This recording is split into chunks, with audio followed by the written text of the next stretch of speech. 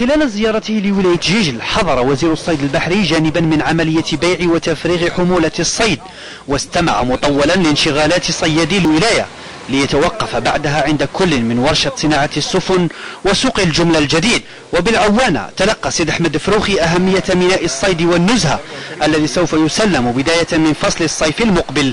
كل هذه الاستثمارات سواء كانت عمومية ولا خاصة يلزمنا نثمنوها في اقتصاد الصيد وتنمية أيضا تربية المائيات في المناطق هذه الساحلية.